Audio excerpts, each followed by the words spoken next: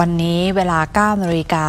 สมเด็จพระอริยวงศาคตยาน สมเด็จพระสังฆราชสกลมหาสังฆปรินายก เสด็จลงณพระวิหาร วัดราชบพิตรสถิตมหาสีมาราม เขตพระนคร สมเด็จประธานในพิธีบำเพ็ญกุศล ถวายแด่ สมเด็จพระสังฆราชเจ้า กรมหลวงชินวราลงกรณ์สมเด็จพระสังฆราชพระองค์ที่ 18 แห่งกรุงรัตนโกสินทร์ทรงเป็นเจ้าอาวาสวัดราชบพิตรสถิตมหาสีมารามยุคที่ 4 พระราชอุปัฏยาจารย์ ในพระบาทสมเด็จพระเจ้าอยู่หัว และสมเด็จพระอุปัชฌายะ ของสมเด็จพระสังฆราชพระองค์ปัจจุบัน ประสูติเมื่อวันที่ 2 มีนาคม 2440 ทรงได้รับการสถาปนา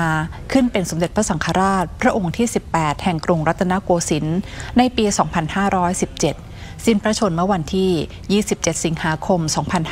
2531 สิริพระชนษา 91 ปี ตลอดพระชนชีพได้ทรงปฏิบัติพระกรณียกิจ เพื่อการพระพุทธศาสนา คณะสงฆ์และประเทศชาติเป็นอเนกประการ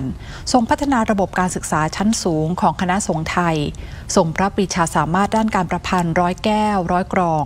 มีผลงานที่ทรงพระนิพนธ์มากมาย อีกทั้งทรงสร้างและประทานพระอุปถัมภ์แก่วัดสำนักเรียนพระปริยติธรรม มหาวิทยาลัย โรงเรียน โรงพยาบาล และสถานศึกษาต่าง ๆจำนวนมาก นับตั้งแต่สิ้นพระชน คณะสิทธิานุสิทธิ์และผู้เคารพเลื่อมใส ได้จัดพิธีบำเพ็ญกุศลถวาย เป็นประจำทุกวันเสาร์สุดท้ายของเดือน